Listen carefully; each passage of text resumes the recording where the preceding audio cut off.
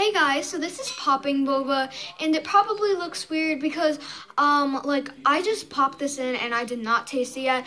But like I tried to grab it and like the plastic it just like immediately peeled off like very easily so I just peeled it off but like this is um like popping boba so yeah and this is not my favorite kind of boba I personally love the um tapioca pearl boba tea um, yeah, it's like very good, but this is not my favorite, but let's try it. Um, I haven't had this in quite a while, so yeah.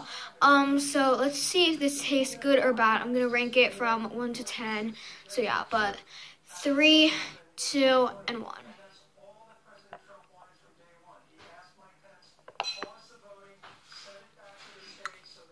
I got a piece of popping boba, wait. Oh, you know, it's good, but like, it's kind of just like, you know, you get like fruit tea in here with your popping boba, right? Um, like whenever you like eat the boba, it just like tastes exactly like the tea because like it just has like tea inside. So personally, I don't really like this, but I think it is super good and I will still drink it. I will give it a 6.5 out of 10. Um, the tapioca pearls, um, like they are definitely a 10 out of 10. So yeah. Mm. Oh my god, I got like a mini one. Oh my god, alright, ASMR.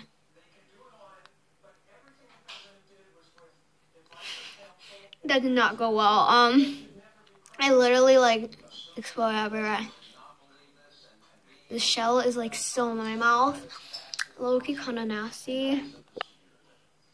Wait, I just figured out that I can do ASMR with this. Oh no, low-key. Love this. This is like, oh no, it's like store-bought popping boba. It's really good. This is really good. Like, don't get me wrong. But it's like not the best boba, in my opinion. You may love this or you may hate it. Um, I really don't think it's bad. I think it's actually pretty good. And um, I just ate some mozzarella sticks, and I'm gonna drink this and go to bed. But yeah, and it's currently what's the time right now? Um, it is 2:38 a.m. Um, we stay up late. I got another piece of popping boba. So good. All right, bye guys.